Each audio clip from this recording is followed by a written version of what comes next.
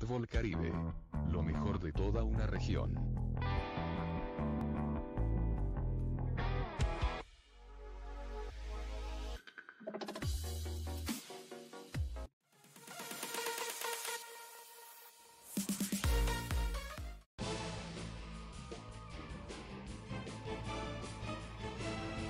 Nacido en Cartagena de Indias en el Caribe colombiano un 26 de abril de 1978, apodado el Chocolatín, fue un talentoso delantero que jugó en Cooperamos, Tolima, Junior de Barranquilla y desde el año 2003 en los clubes Al Jazeera durante dos temporadas y media y en el Emirates Club, ambos de Emiratos Árabes Unidos.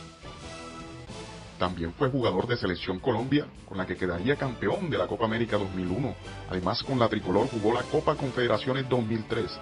En este último torneo, junto a Jairo Patiño, serían los primeros en intentar salvar la vida al camerunés Marc Vivien Fo, que murió en la cancha en el partido que enfrentó a Colombia y Camerún.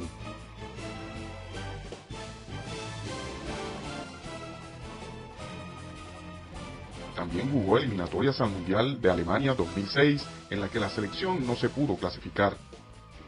Elson Becerra despuntó en el balompié colombiano por su habilidad, su talento y sus goles.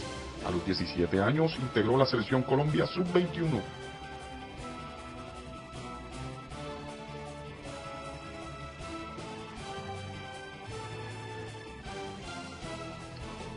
Con sus goles, su primer equipo Cooperamos Tolima ganó el título de la categoría Primera C, ascendiendo a la Primera B.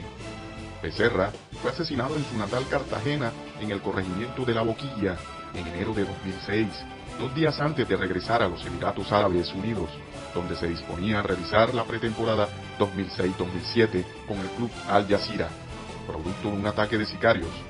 Becerra recibió cuatro disparos cuando departía en una discoteca con su amigo Alexander Ríos, contra quien iba dirigida la acción criminal.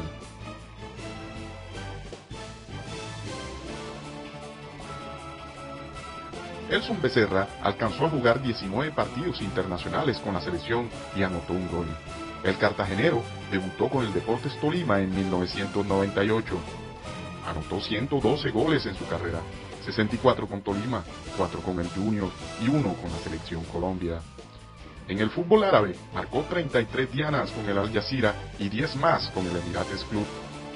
El Chocolatín se fue prematuramente no pudo seguir brindándole al mundo del fútbol su alegría, picardía y habilidad para jugar.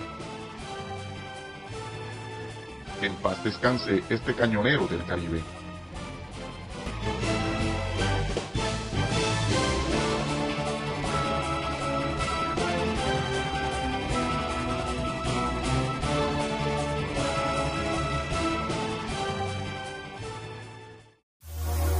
Síguenos en nuestras redes sociales y suscríbete a nuestro canal Fútbol Caribe Más.